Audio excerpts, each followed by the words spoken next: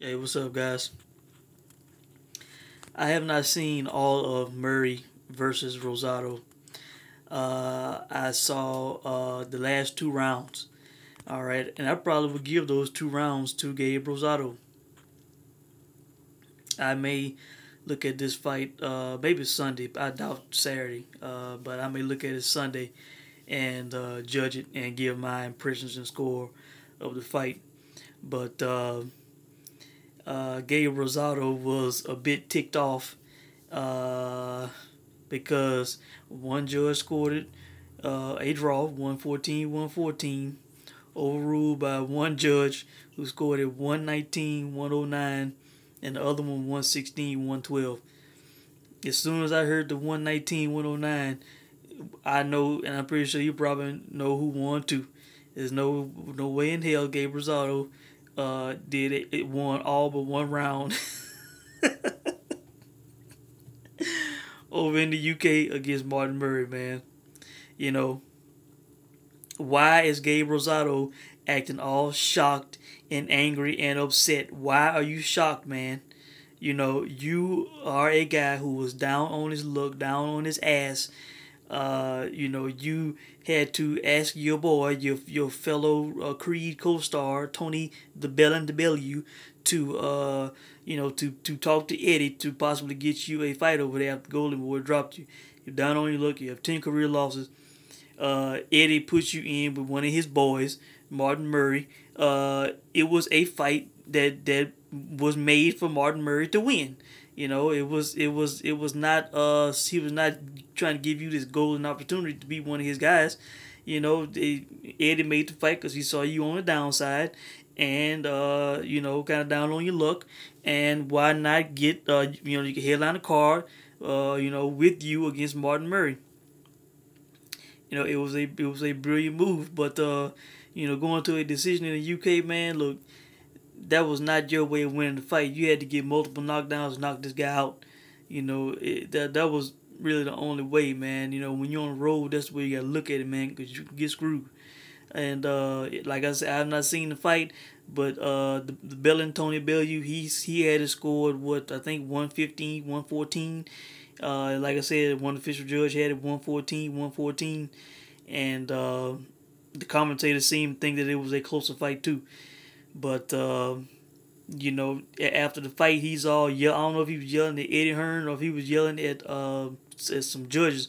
I, I saw Eddie down there, but Eddie didn't really appear to be look, you know, looking at him or talking back to him. He just kind of like looking off, you know, but kind of looking over, you know.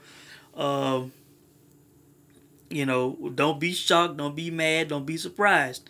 You know, you were on their turf. Uh, you, you were down on your luck you were not the guy that that was uh the the the headlining star. It was it was Murray versus Rosado, and and on the uh the the poster of the fight, they had you looking all beat up and shit. they were they were sending a message right there from the beginning. But you know what? In all seriousness, man, I thought that was a, a good picture, man. Uh, I think I think that Rosado's trainer was was trying to make a complaint about it. But uh, hey, shit, you better be thankful that your ass got a got a got a got a gig, got a fight. Uh, cause like Golden Boy just put you to the side, hell, and and Eddie took him on. So uh, you know, don't be complaining about the opportunity and the headline. If that's the way they want to promote the fight, that's fine. I thought it showed the the uh, kind of blood uh, uh, blood and guts warrior mentality of a Gabe Rosado, a guy who's been in wars. It was not him laying out cold. He was screaming like an adrenaline rush like he was all, you know, kind of eye swole and stuff. I thought it was kind of like a, a, a tough man type statement that they were making with that with that image. So while I'm while I'm kind of laughing at it, not saying yeah they had your ass beat up on the poster, uh, and you got in this fight, and now you mad at the outcome, like it was predetermined almost. But uh, I I thought it was a good decision in all, in all honesty to use that, that photo. I liked it. It was gritty. It was raw. It, it made you think that a war was gonna break out. Uh, so because I haven't seen this fight, but I will probably look at it tomorrow uh, and and judge it. And uh, I'm pretty sure Murray probably won. Uh, but uh, you know, for Rosado, he just mad because it was a wide score. Like I said, this guy, man, he, he does not win the big fight, man. He, he just you know, he just I, I in the big fights, the guy doesn't win, man.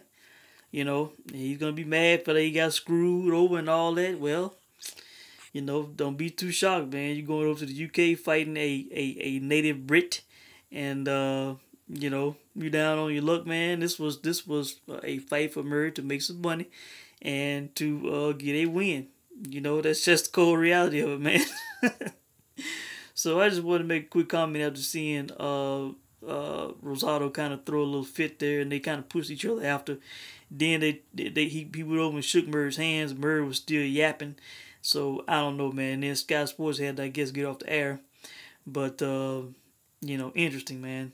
I will try to take a look at this and uh, give further comments later. I guess we'll get uh, geared up for the fights tonight. I'm uh, primarily focused on boxing tonight, and we'll uh, do UFC later.